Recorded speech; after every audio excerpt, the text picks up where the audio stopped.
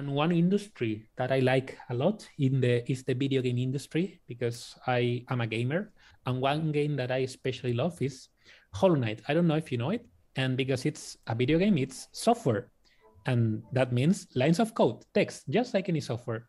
And this game has fantastic graphics engine, a real-time physics engine that allows for the collisions and the bounces and everything, a great story, fantastic designs, a great piece of software that maybe some of you have played, right? Uh, so if we look at this piece of software with the same lenses that we were using before, I don't know how many lines of code Hollow Knight has because it's not open source, but what I do know is that it was made by three people in four years.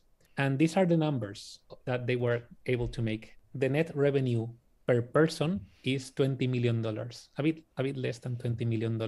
This is, and in fact, they use Unity in this case. Video game engines are nothing more than the maximum common denominator of all video games, meaning the pieces that you would need to create any video game. The graphics engine the physics engine the npc system all the pieces that at the same time are the hardest pieces to implement. The pieces where you need math and low level graphics knowledge and physics so that the team cherry the guys who made hollow knight were able to focus just on the pieces that are easier but also the pieces that make people buy their game because let's be honest nobody buys hollow knight for the graphics engine or nobody buys hollow knight for the physics engine. They buy it because it has a great story and a great design and it makes you feel things when you play it right? When we go back to this we realize that we also have a maximum common denominator in our industry because no matter what BIM, what BIM software we are talking about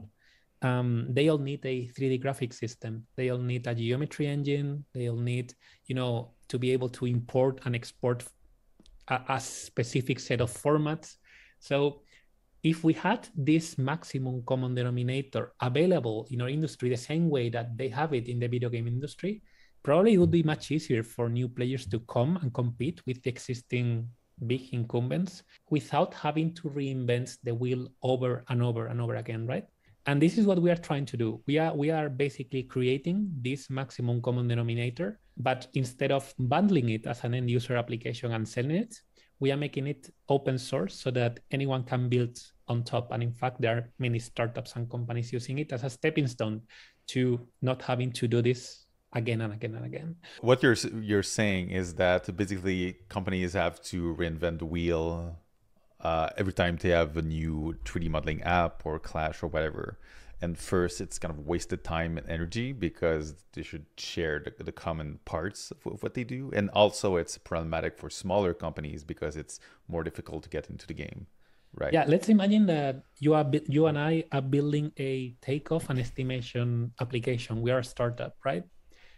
Uh, without the things that we and other people built in open source, the, this com maximum common denominator, the first step is okay, let's make a 3D graphics engine so that we can, um, you know, show people the buildings that they import in or, into our application. But the truth is that this is not what we are selling. We are selling the takeoff and estimation logic, right? So mm -hmm. these pieces that everyone needs, but nobody sells, are the pieces that we are creating.